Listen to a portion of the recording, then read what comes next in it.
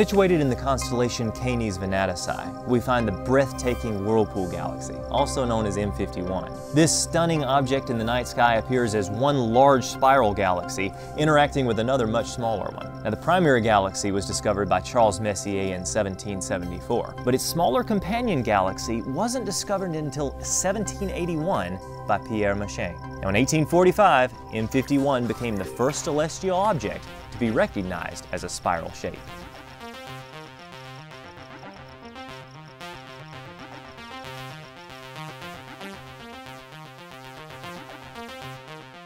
Know, previously, telescopes with enough optical precision to resolve this were not yet available. The Whirlpool is the brightest of the Messier 51 group of galaxies, which also includes the Sunflower Galaxy, NGC 5023, and 5229. Now, a supernova is a rare event to witness, even given the incredible number of stars that are visible in the universe. This powerful force of a star exploding causes a bright display visible from great distances. Now, on May 31st, 2011, a new supernova was spotted in M51. Using our ministry's large 16-inch observing telescope, I was able to take photographs soon after the event.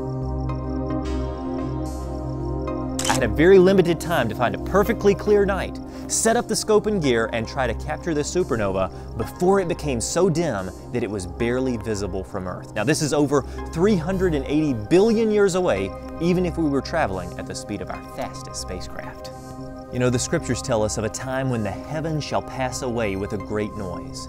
It's amazing to think that the magnitude of these displays are only a glimpse of God's infinite power. I'm David Rives. Truly, the heavens declare the glory of God.